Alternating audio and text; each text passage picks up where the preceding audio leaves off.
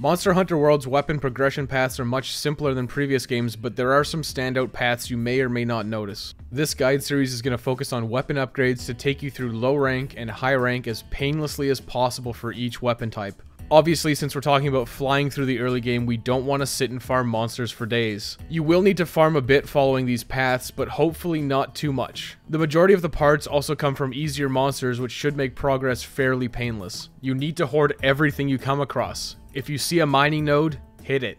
Bone pile, take everything. The last thing you want to do is have to go randomly find some bones or minerals for an upgrade. Everything you gather will be useful, and you'll save time by gathering as much as you can along the way.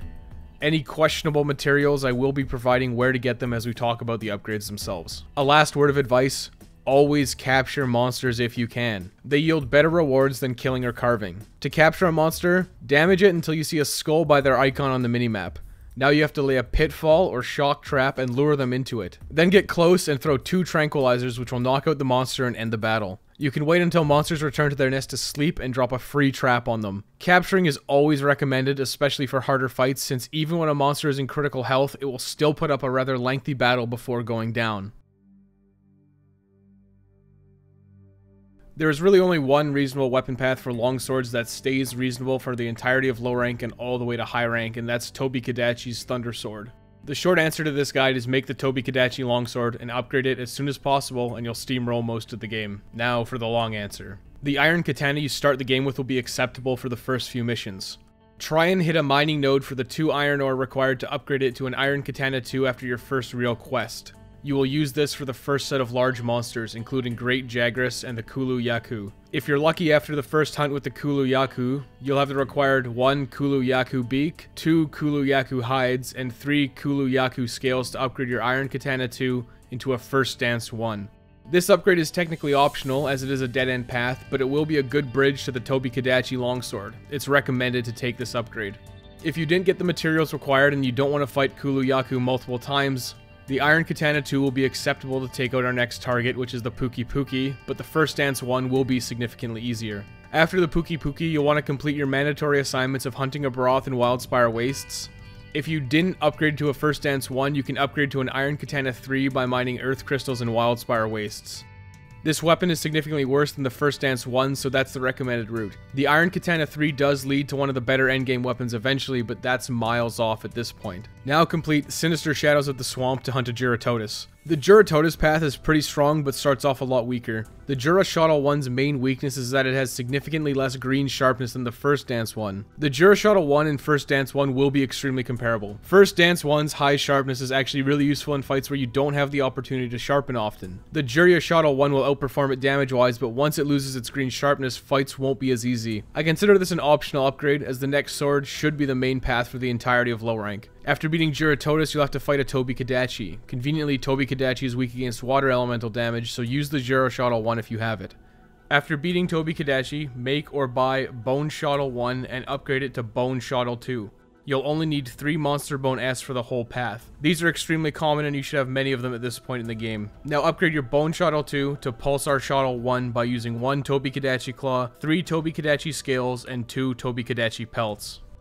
Our next sends are Anjanath and Zorah Magdaros, both of which are weakest to water. Anjanath is still quite weak to thunder, so while the Pulsar Shotels have less raw damage, they have 10% affinity and much longer green sharpness, so this is probably what you should use against Anjanath. After defeating Zorah Magdaros, don't worry, it's a set piece and you can't really lose, you'll gain access to the Coral Highlands. You'll be forced into an expedition to explore. Use this time to gather materials to upgrade your Pulsar Shotel. By mining in the Coral Highlands, you can get Coral Crystal.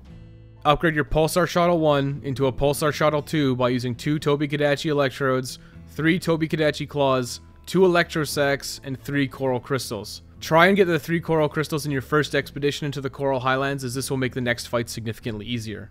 Continue progressing through the main story, you'll fight a Paolumu, and then you'll descend into the Rotten Vale and take out a Radobaan. Continue progressing again, and you'll have to take out a Legiana. Thankfully, our weapon is perfect against it since it's weak to thunder. After defeating Legiana, if you're lucky, you'll get 2 Monster Bone Plus. Otherwise, you'll have to farm any 5-star monster to get them. These include Legiana, Odogaron, Rathalos, and Diablos. All of these, conveniently, you have to fight anyway as part of standard story progression. Your final upgrade for low rank is to upgrade your Pulsar Shotel 2 into a Pulsar Shotel 3.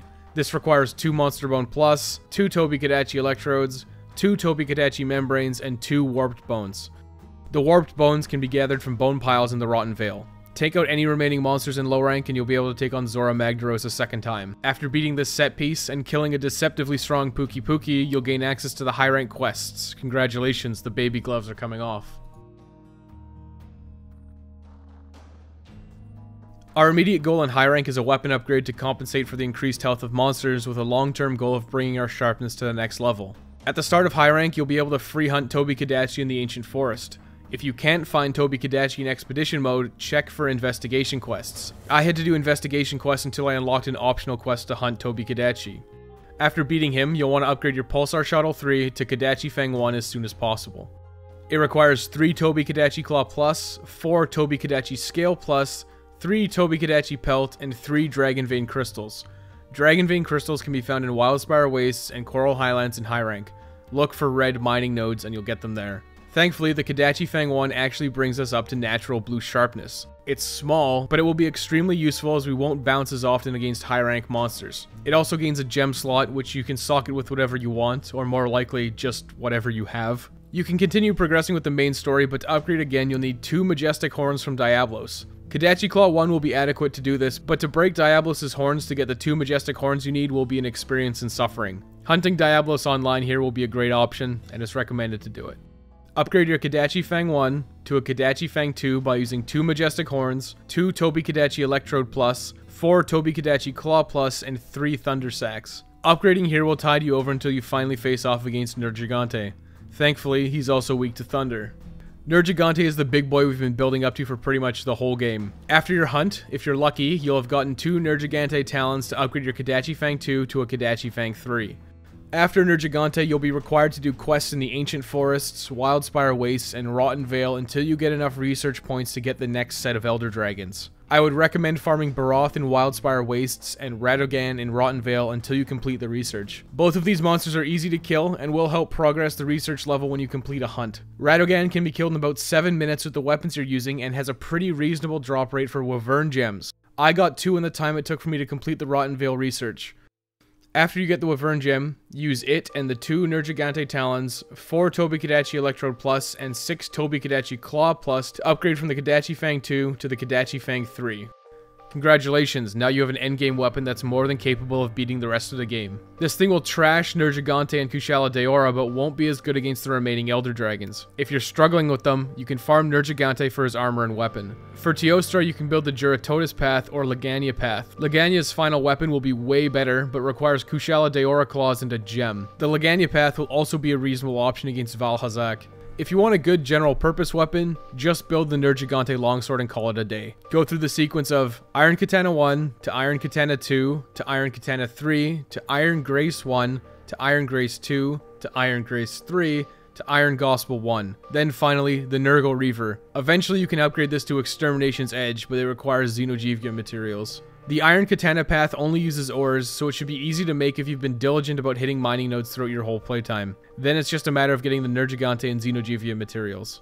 Obviously, if you're feeling up to it and you want to min-max, you can build one longsword of every element for each monster.